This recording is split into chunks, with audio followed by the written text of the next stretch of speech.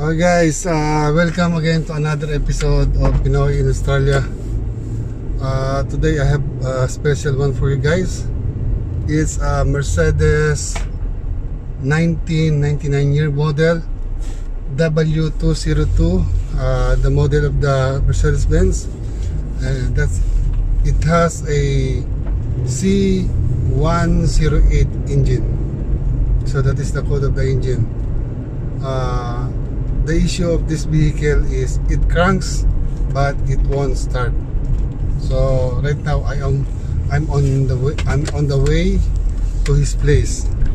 So let me tell you a story about this vehicle. So one day the, the uh, owner of the vehicle would like to use the vehicle. Then he was given advice by his son to put a new battery on it because the vehicle had been sitting there for six months. So he put new battery he start the vehicle he start and he turn it off the next morning he tried to start again start the vehicle again. But after uh, starting the vehicle it won't start. So it crank but it won't start. So tried many times times uh, to try to start it. It only cranked but it won't start. So what he did is he called the RACQ guys because the RACQ is the company where the vehicle is insured. And it comes along with road assistance. So he called the RACQ guys and he come to his place and diagnosed the vehicle guys we are almost uh, there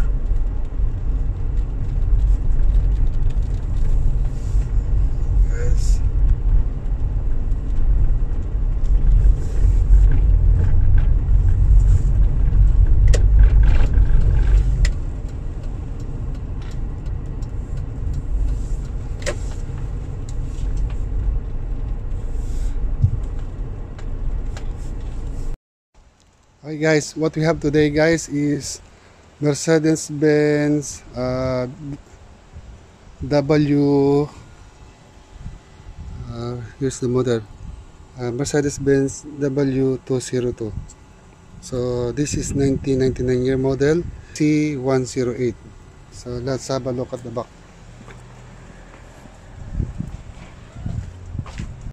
C180 so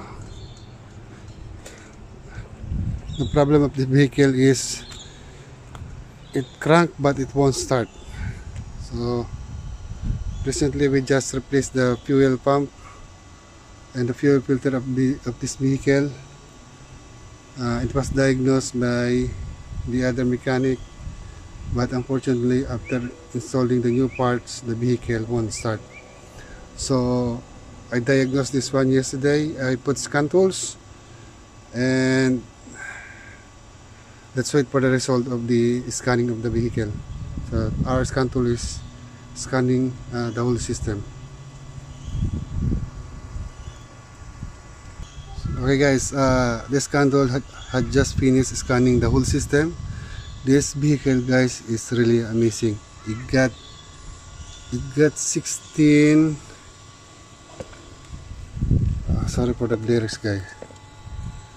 Uh, it got 16 uh, computer see? That's 16 16 modules guys. So let's go to the uh, uh, ECM so I got multiple uh, fault but but right now what we're go what we're going to do is we're just going to concentrate on engine ECM so we got one fault on engine ECM we, uh, what we're going to do is we go to report.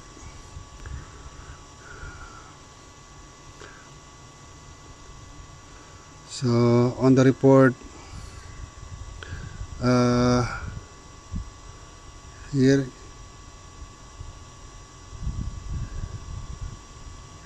one fault motor electronic 2 so we're going to click this one.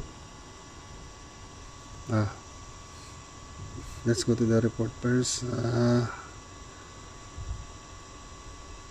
so there is the fault guys uh,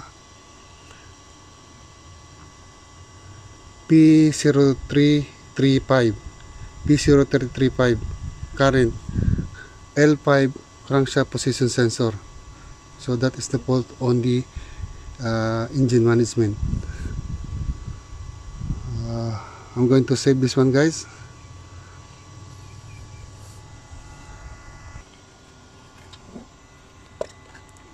okay guys I'm in the process of erasing deleting all the faults guys. Then after that we are going to start the vehicle. I just put a new brand new crankshaft position sensor. So the location of the crankshaft position sensor is located at the back of the engine. It's on the bell housing. So somewhere there guys. Yeah. so you see that uh, wire guys? See? yeah that wire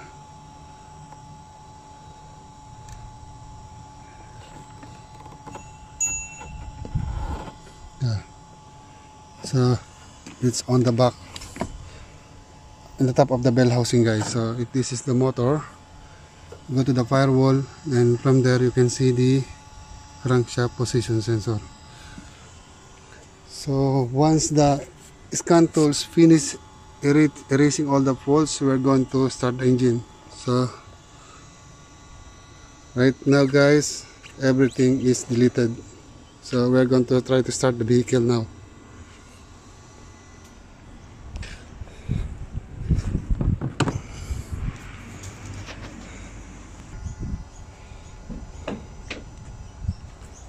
Ah, bro, start mo bro.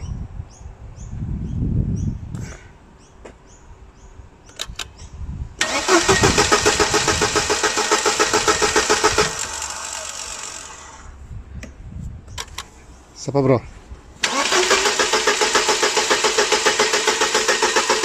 Neutral ko lang.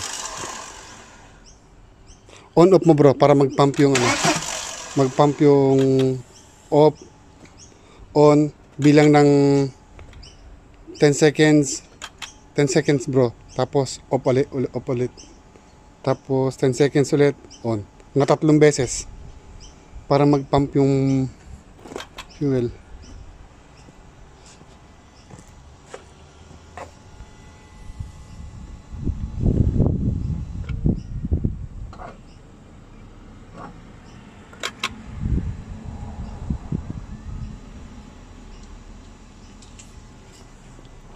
i-on mo ng 10 seconds bro.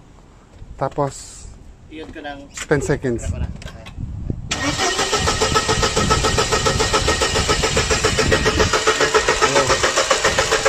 Okay bro. Muli bro. Isa i-ulitin mo ulit bro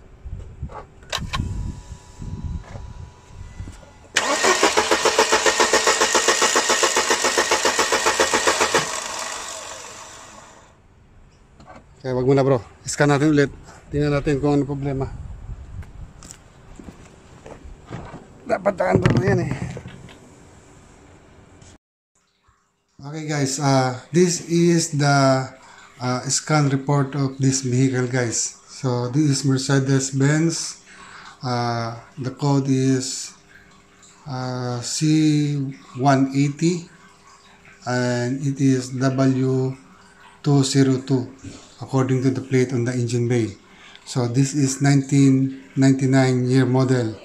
So uh, what we are going to do right now is we are going to concentrate on the ECM fault because uh, we are diagnosing the no start uh, fault of this vehicle. So this vehicle has um, 16 modules guys, 16 computer. So for 1999 year model of vehicle, during those times, this vehicle is one of the best when it comes to uh, technology. This is German technology, guys, Mercedes-Benz. So, on the top, guys, this is the engine control module, module guys. Uh, so, the ME2 SFI motor electronic 2, that is the engine control module. So we have one fault. So in the bed, in the bottom of on, on the bottom of the uh, health report. So on engine control module, there is one fault, P0335, and that is L5 crankshaft position sensor current. So that is the reason why the vehicle is not running. So if you don't have crankshaft uh, signal, so there is two two uh, things that might happen. Either the vehicle will not start or the vehicle uh, will have long cranking. So it depends on the backup strategy strategy of the vehicle. So in this particular model, uh, if you have a failure in the crankshaft sensor, vehicle will not start because you will not have spark and you will not have electricity supply to your fuel pump if you don't have crankshaft signal. Okay guys, um, uh, as you can see on the video guys, I start record, stop recording on uh, the troubleshooting uh, when I try to start the vehicle and the vehicle won't start. So what happened guys is I don't have to record, I don't have time to record the, the, the whole process of the troubleshooting guys because uh, uh, I don't have someone with me to take the video while troubleshooting the vehicle. So what happened guys is uh, the reason why the vehicle is not uh, starting during that time is the fuel tank is low on fuel. So before I find out that there is a low uh, level of fuel inside the fuel tank, uh, I check the spark of the uh, spark plug. So I pull up the high tension wire. I use a spark plug, uh, a spark tester of the uh, ignition system. There was a spark then I pull out one of the spark plug and I connected it to the high tension wire. Then I grounded the spark plug. I uh, uh, asked the owner to plug the vehicle for me so I can see the uh, vehicle whether the spark plug is uh, firing. So during the process of testing the spark plug, uh, we had seen that the spark plug is producing um, uh, enough uh, spark. So how do we did it? Just simply put the end of the spark plug back to the high tension wire and put the uh, spark plug uh, body to the uh, ground. So I tried it and I also asked the customer to have a look with the uh, spark plug while I'm, I'm uh, starting the uh, turning ignition on. Positioning the ignition to start a position. So I had seen that there's there is a spark, enough spark on the spark plug. The customer also seen that there is enough spark on the spark plug. So I told him there is uh, around three to four scenario why the vehicle is still not working while the while we uh, while we are trying to troubleshoot this uh, um, uh, case guys. Because we already put new uh, spark uh, crankshaft position sensor and I had to scan the uh, vehicle the fault of uh, 03 P0335 had been fixed it doesn't come back. So our issue on the spark plug is already fixed. So I told the customer there are around four or three uh, possible why the vehicle uh, is not uh, running. Either we are low on low on um, fuel, possibly because um, the sending unit is not telling the truth, it's lying to us, or the sending unit inside the fuel tank is, uh, is faulty. And I asked him how long the vehicle was stuck on the parking area. He said around four to six months. So uh, it's been a long time uh, since the vehicle was uh, stuck on the on the yard. Then I tried to get uh, the pressure of the fuel system, but unfortunately I don't have the proper uh, adapter to adapt to put the pressure gauge on the fuel system.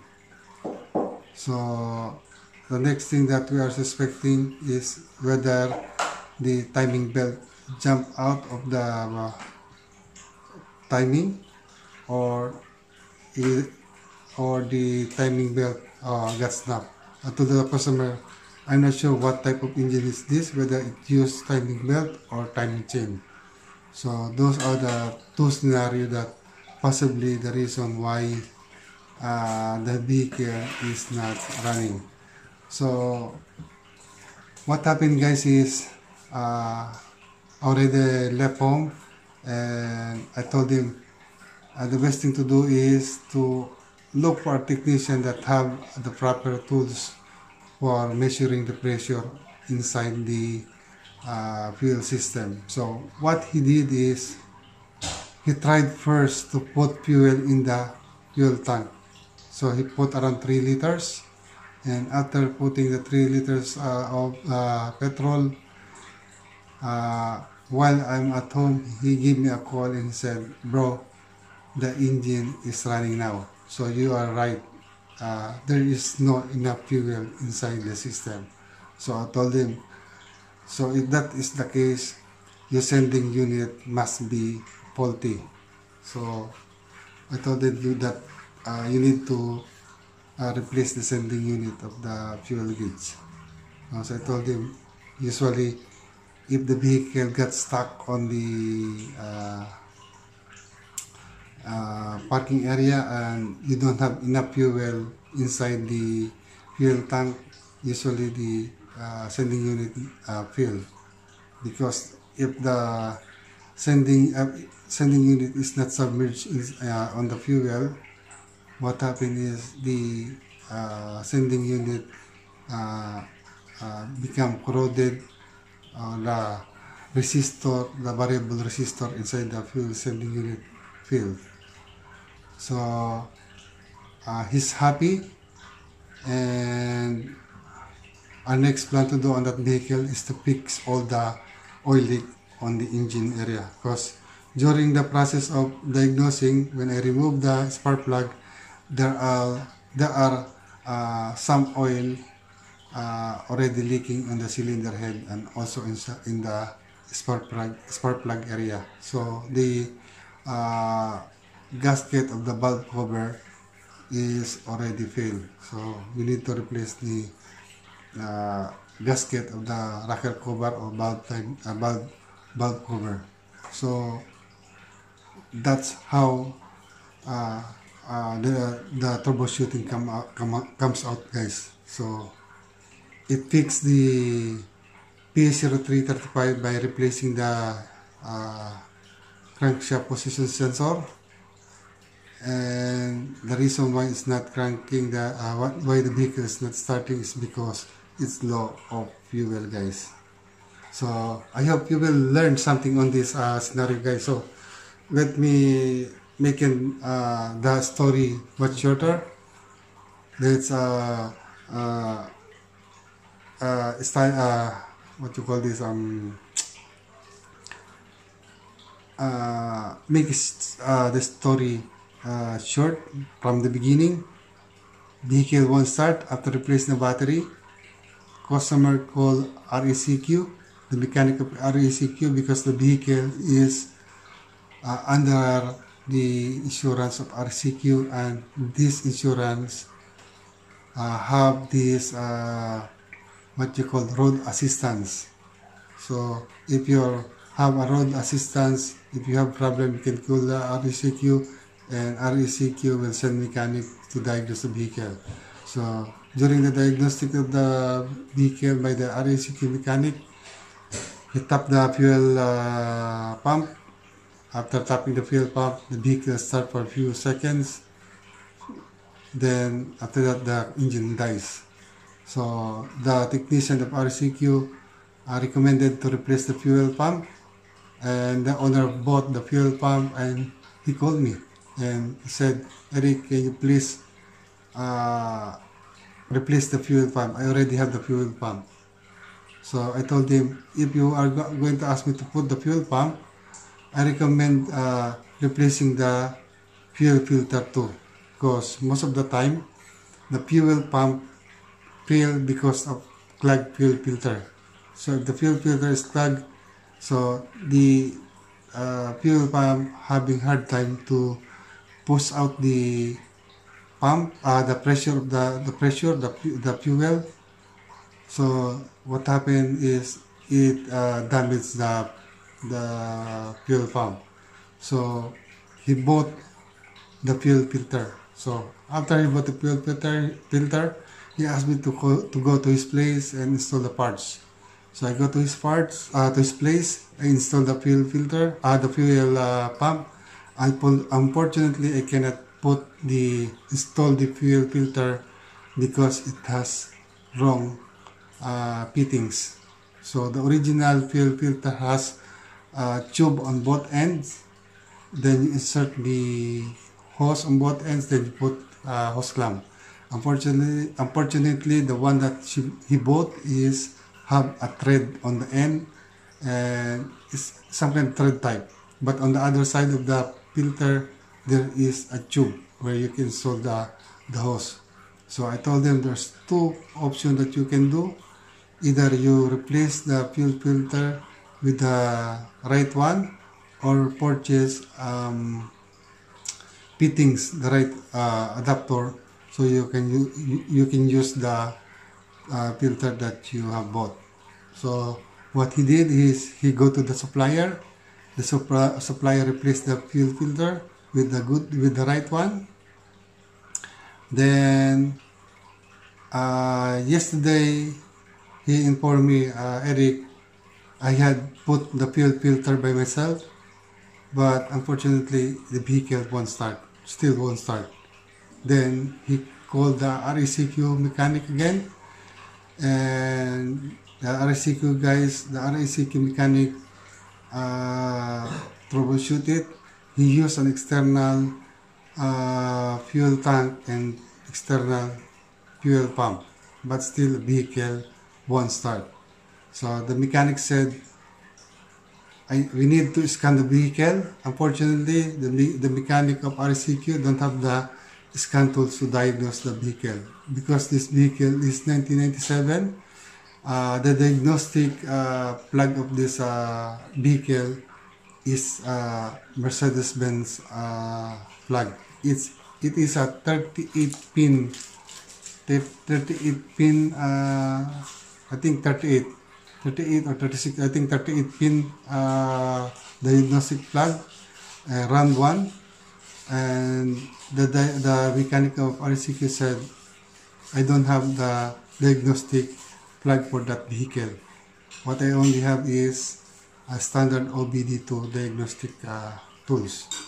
So what happened is the owner of the vehicle called me, Eric, this is what happened. This is uh, the technician of the RACQ said uh, it need to be scanned, but unfortunately he don't have uh, the scan tools to diagnose the vehicle. He said, do you have the scan tool to diagnose these things? I told him yes.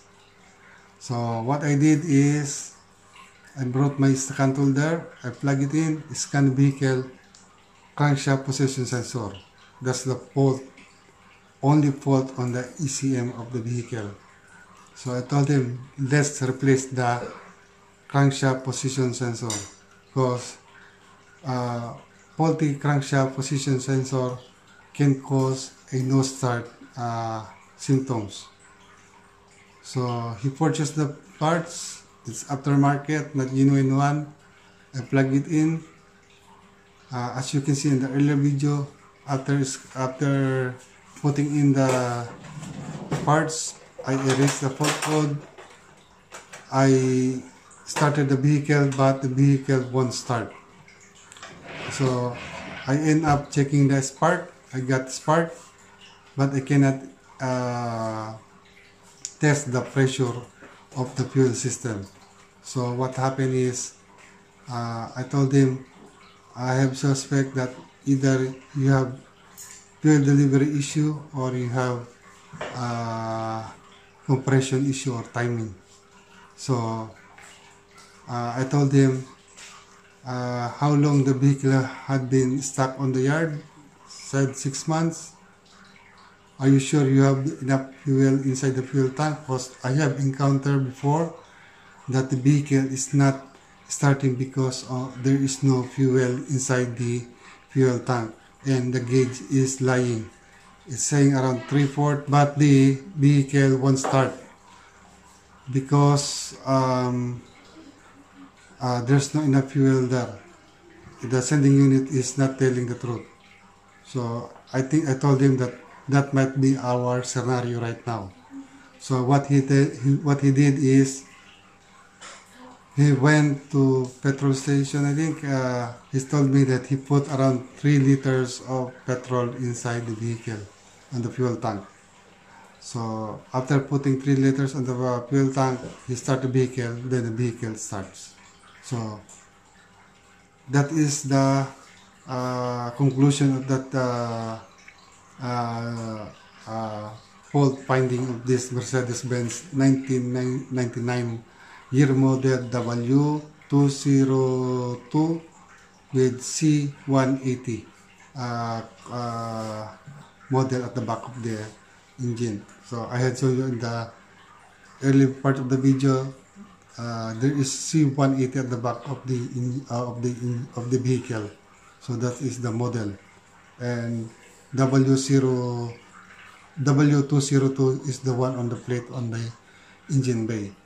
So if you encounter on this uh, kind of uh, scenario guys, just replace the uh, crankshaft position sensor and make sure that there is enough fuel inside the fuel tank. So in this case, uh, it's a little bit uh, uh, struggling to diagnose this vehicle because the sending unit of the uh, fuel gauge is faulty. It's saying it's three port, but actually uh, the fuel inside the uh, tank is empty. Okay guys, I hope this video is helpful. Uh, if you're not subscribed to our channel, please subscribe to our channel. Press the su subscribe button. Please press the like button. Please press the notification bell so you will be notified every time I do a video. Okay guys, see you on the next video. Bye-bye.